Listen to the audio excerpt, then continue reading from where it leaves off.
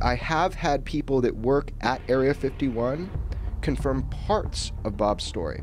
One in particular saw him coming off the jet, or he says he saw him coming off the Janet flights. I said, Will you go on record with me that you met Bob there on the tarmac? What if we told you that Area 51 isn't the only thing that the US government has been hiding from the world? Some of the most sinister things are happening behind closed doors, but there is one secret that not a single soul has known about for the last 80 years. Finally, things have come to light, so join us as we explore the secrets that were leaked from the US authorities, all of which will leave you shocked for days. The Stonehenge Mystery is a famous prehistoric monument that you'll find in Wiltshire, England. You've probably seen pictures of those massive stones arranged in a circle, and they're quite the sight to behold. But what do they really mean? Some of them weigh over 25 tons and stand over 13 feet tall. But as soon as it was discovered, questions emerged over who built Stonehenge or how they did it. Some scientists speculated that it had been standing there for about 5,000 years, but the details of its construction remained a mystery. Archaeologists dug around for clues, but they were left scratching their heads for quite a long while. Soon, though, the deeper story beneath Stonehenge started to become clearer. The Stonehenge Hidden Landscapes project was conducted between 2010 and 2014, and it used the best technology to show that Stonehenge is way more than what the world thinks it is. When the underground imaging was finally revealed, what emerged was a massive landscape that was covered with burial mounds, settlements, and ceremonial routes. But what did this revelation mean? Well, a Neolithic world that was far more intricate than previously imagined. One crucial discovery was made at Durrington Walls, a site right in front of Stonehenge. At first, they came across a massive stone circle that seemed like a very good breakthrough, and they soon named it Superhenge. But with further excavation, it became clear that these stones were actually timber posts. Despite the disappointment, though, the Stonehenge Hidden Landscapes project brought some invaluable insights into the world. Lead researcher Vincent Gaffney mentioned how their efforts revealed hundreds of new features, including a colossal ring of posts, possibly serving a ceremonial or symbolic purpose. Another very crucial revelation from this project was that Stonehenge was built in two separate phases, and the earliest phase dates back to over 4,500 years ago. This timeline showed that the area held significance long before Stonehenge's construction, with evidence of occupation dating back thousands of years. At this point, researchers believe that Stonehenge became a unifying symbol, bridging different regions and peoples. The transportation of stones from Wales to Salisbury Plain was probably a symbolic act, which probably represented unity among Neolithic communities. But there was one big question that continued to bother researchers. How were these massive stones transported over long distances? Contrary to earlier theories of glacial transportation, recent excavations in Wales uncovered ancient quarries, confirming human involvement in the procurement and transport of the stone. Experimental archaeology has shown that moving smaller megaliths like bluestones was pretty doable for people at the time using simple techniques. This challenged previous assumptions about the difficulty of stone transport. Interestingly, the most recent excavations at Stonehenge have unearthed cremated human remains, and with them, the meaning of the whole place has shifted. As time goes on, Stonehenge continues to reveal new surprises. One wonders, do powers like the US know more about Stonehenge than they're revealing? Or have they already found out the true meaning behind Stonehenge and simply consider it too dangerous for the public to know? Well, you'll get the sense of it with the next big secret reveal. The Beale Ciphers. Imagine a treasure that's worth millions of dollars, buried deep in Virginia. To this day, it has never been found, but what's stopping people from rushing to it? It's hidden by a series of cryptic codes that are beyond the understanding of even the greatest experts out there. But when did this mystery truly begin? Back in 1885, a pamphlet came out detailing the exploits of a man named Thomas J. Beale, According to the pamphlet, Beale unearthed huge amounts of riches in New Mexico and buried the treasure in Virginia, but then he encrypted its whereabouts using intricate ciphers. However, not everyone was unaware of what was happening. Beale gave the key to solving these puzzles to an innkeeper named Robert Morris, along with strict instructions not to open the box for at least 10 years. When Beale failed to come back, Morris took a crack at the ciphers, managing to decipher one using the Declaration of Independence as a guide. And what did it say? Well, the deciphered text revealed the location of the treasure, flaunting a massive haul of gold, silver, and jewels. But the remaining ciphers, which supposedly talk about the treasure's contents and beneficiaries, remain unsolved to this day. Despite numerous attempts by enthusiasts and cryptographers alike, the other two ciphers have been impossible to decode.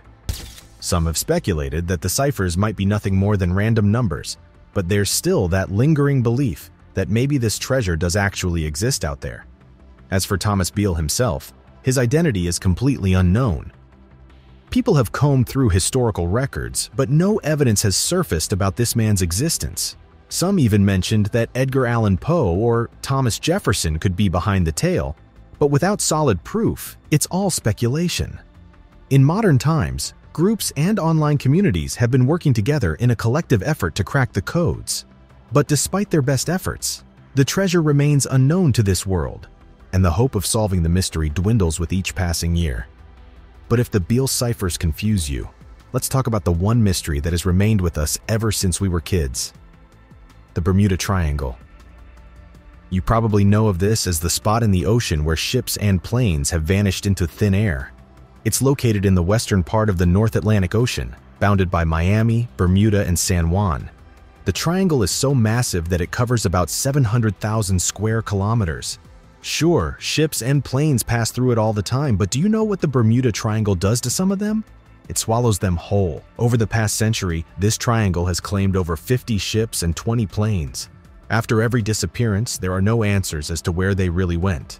While accidents can happen almost everywhere, it's the frequency and mystery of these disappearances that have really left people confused. One theory suggests that the Bermuda Triangle is hiding the lost city of Atlantis, the one that disappeared ages ago. On the other hand, some people even believe that aliens are behind all the disturbances in the area. But most scientists claim that there are much more believable explanations for whatever goes on in the Bermuda Triangle. According to Australian scientist Carl Kruszelnicki and the United States National Oceanic and Atmospheric Administration, there might not be anything supernatural about it at all. Instead, they argue that the disappearances boil down to plain old probabilities, both Kruszelnicki and NOAA have been saying this for years. They claim that the Bermuda Triangle mystery is nothing but a statistical quirk. So according to them, the Bermuda Triangle sees its fair share of vanishing vessels simply because it's a busy and notoriously tricky area to navigate. In 2010, NOAA proclaimed that there is no evidence that mysterious disappearances occur with any greater frequency in the Bermuda Triangle than in any other large, well-traveled area of the ocean. Kruszelnicki has been echoing this statement since 2017, focusing on the fact that the number of incidents in the Bermuda Triangle is no higher than anywhere else in the world. But then, what's the logical explanation for all of the disappearances that happen in the Bermuda Triangle? According to NOAA, environmental factors hold the answers. They blame the unpredictable nature of the Gulf Stream, the network of Caribbean islands, and even the Bermuda Triangle's magnetic anomalies, which can throw off compasses. Let's say one believes what they're saying. How do you then explain Flight 19? This was a squadron of five U.S. Navy bombers that vanished without a trace in 1945, and to this day, this has remained an unsolved mystery. But Kruszelnicki argues that even in such high-profile cases, the culprit is often nothing more than bad weather, human error, or a lethal combination of both. From 2017 to 2023, Kruszelnicki has been a vocal advocate for debunking the Bermuda Triangle myth. But one ends up wondering, is he just another tool that the US government is using to keep the truth away from the rest of the world? If you're not convinced about the American government playing a part in this, wait till you see the next big secret. The Mystery of Cleopatra's Tomb Born in Alexandria in 69 BC, Cleopatra wasn't originally Egyptian by blood. Instead, she hailed from the Ptolemaic dynasty, which was started by one of Alexander the Great's generals. But what sets her apart is that she fully embraced Egyptian culture and even learned to speak their language fluently. However, the one thing that made Cleopatra famous was her love life. Clearly, she had a thing for powerful Roman generals like Julius Caesar and Mark Antony, and their romances kept folks entertained throughout the course of history. But after she died, her resting place became the biggest mystery of this era. There were no records found that actually mentioned where she was buried, and the landscapes had changed so massively over the last two millennia that it was impossible to guess where she had been. In recent years, however, archaeologists have gotten very close to a breakthrough. At Taposiris Magna, a temple nestled on the Nile Delta, archaeologists stumbled upon two mummies that dated back to Cleopatra's time. They were just there, lying undisturbed for over 2,000 years. But even then, these mummies aren't exactly in pristine condition. Water seepage into the tomb has left them in a sorry state, and you can probably imagine how hard it must be to identify these mummies correctly. But what's the evidence for these mummies being connected to Cleopatra? Archaeologists have uncovered some pretty compelling clues linking these mummies to Cleopatra because these high-status individuals were found adorned with luxurious gold leaves. This was a clear sign of elite status back in the day, and experts are even assuming that these people might have rubbed shoulders with Cleopatra herself. X-rays of the mummies have revealed that one is male and the other female. And if that wasn't intriguing enough, the temple altar held a treasure trove of 200 coins bearing Cleopatra's name and likeness. But what does it all really mean? Could these mummies finally lead the way to Cleopatra's tomb? And even if they do, will the US government really let that happen? Well, you're about to see just how worse things can get. The Sodder family nightmare. Everything went down on Christmas Eve of 1945 when the Sodder family, settled in Fayetteville, West Virginia, faced the worst possible thing they could fall into a fire broke out in their home, and while some of them managed to escape, five of the Sodder kids were nowhere to be found. The fire started around 1.30 a.m., and George and Jenny, the parents, woke up to hear the sounds of breaking glass and the smell of smoke. They hurried out of their room to get everyone out, and successfully, they managed to save four of their kids. But here's the thing, there were more kids, all of whom were nowhere to be found.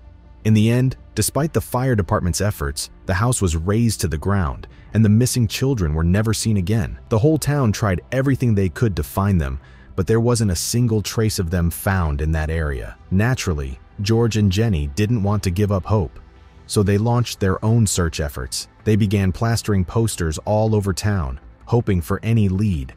But no matter how hard they tried, their kids remained missing. Fast forward to 1967, Jenny got a mysterious letter with a photo that looked almost exactly like one of her missing sons, Louis.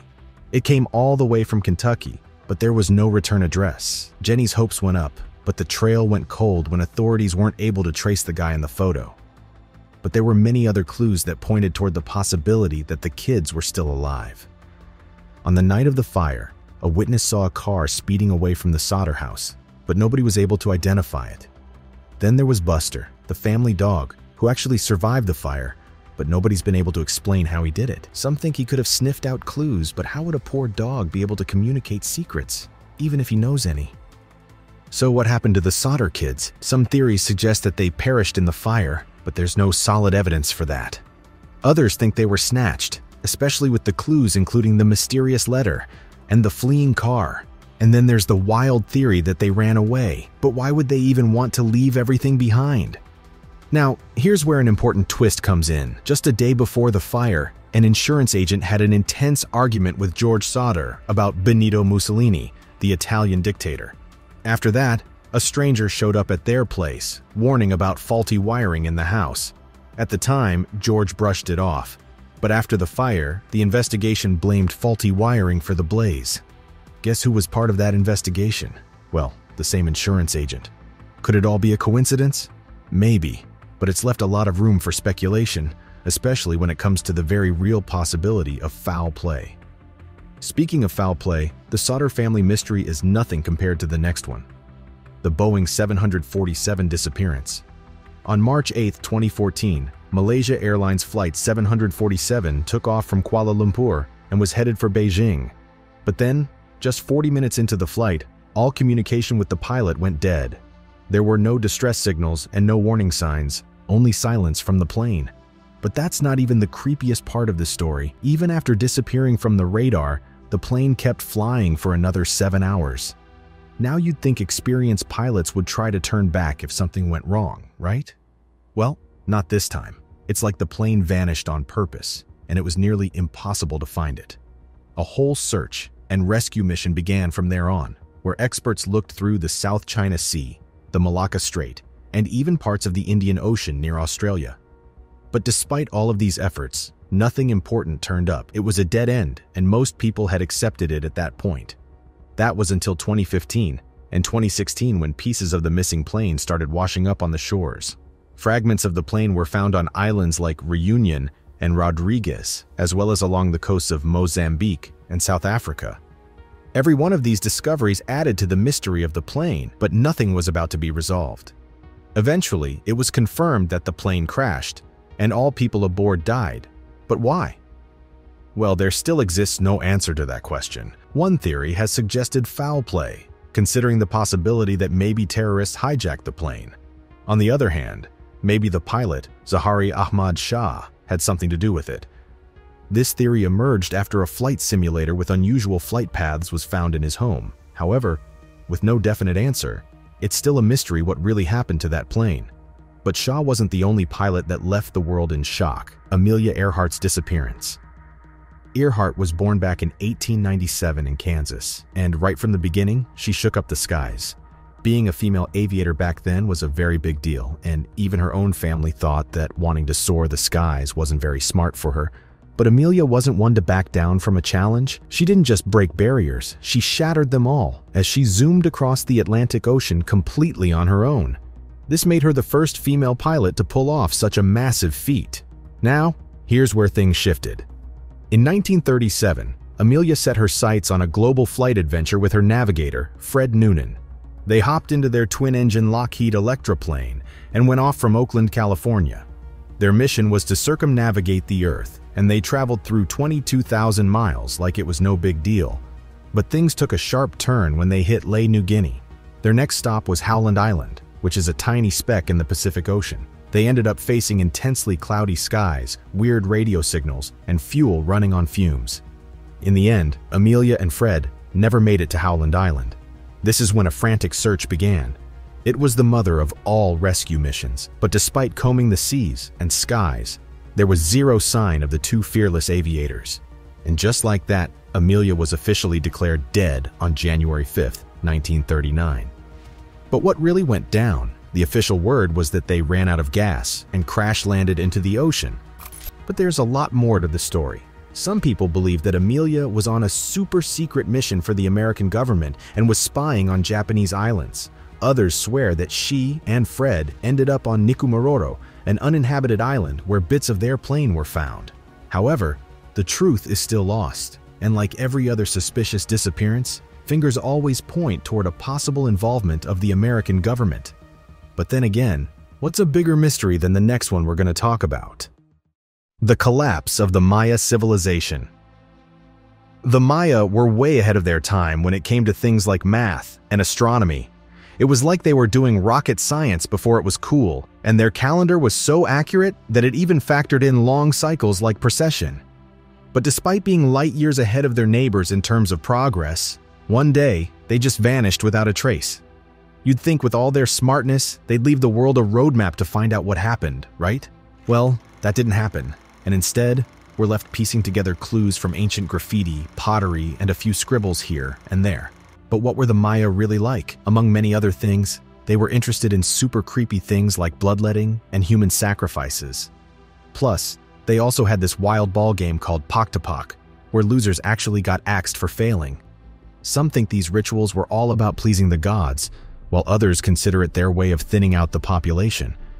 But what if it was something deeper? What if winning that ball game was their ticket to the afterlife? One thing that the Mayans were deeply interested in was recycling their temples. Some think this practice was a political power move, while others consider it to be all about cosmic alignment. So, what's really happened to the Maya? Did they vanish into thin air, or did they ascend to some cosmic world? More realistically, did they all unexpectedly get wiped out by a massive disaster? We may never know for sure, but one thing's for certain. Their story is one of the greatest mysteries of all time. But wait till you see what's coming next. The Secrets of Ancient Astrolabe. The year was 1902 when a group of sponge divers off the coast of Antikythera came across something extraordinary. At first glance, it seemed like an ordinary piece of stone, but little did they know that they had stumbled upon an astrolabe. Now, what is that? Well, it's a complex device used by ancient navigators and astronomers. During the mid-20th century, English historian Derek J. de Solla Price came onto the scene. Armed with X-ray technology, he got right into the mysterious artifact, revealing its real purpose. The object was a sophisticated astronomical tool. It was so capable that it could track celestial bodies with remarkable precision, and nothing like this device had ever existed before. Let's break it down. The Antikythera mechanism, seated within a wooden box, showed a complex assembly of gears and dials that were carefully arranged to track celestial time. But here's the thing. It wasn't just for decoration purposes. The Antikythera was an interactive tool, and it came complete with instructions carved right into its sides. So what was its main job? It has been used in tracking stars and planets. Back in the day, people brought it to use to predict the positions of celestial bodies like Mercury, Mars, Jupiter, Venus, and Saturn. It could predict lunar and solar eclipses with mind-blowing accuracy, along with a whopping 42 other celestial events. This made it invaluable for crafting calendars and planning special occasions back in the day. The Lost City of Atlantis this island, which was first mentioned by the Greek philosopher Plato, has actually been the subject of debate for centuries. According to Plato's dialogues, Atlantis was a sophisticated civilization that was found beyond the Pillars of Hercules, situated near modern-day Morocco and Spain. The story talks about how a massive earthquake around 9500 BC sent Atlantis into the depths of the ocean in just one night. There was nothing left behind, only a few traces of what once was a mighty civilization. The most fascinating thing about Atlantis is its technological development. While the rest of the world was still using primitive tools for their work, the Atlanteans had already mastered advanced engineering. They were said to be building grand temples, expansive bridges, and fleets of ships that could scare the strongest nations away. Plato wasn't one to talk about false stories. He backed up his accounts by referencing earlier texts, which would make anyone believe that Atlantis was a real place. Over the years, scholars and adventurers have scoured every corner of the world as they try to find evidence of Atlantis' existence. Despite countless plans and the discovery of intriguing underwater ruins, none have actually proven to be the lost island.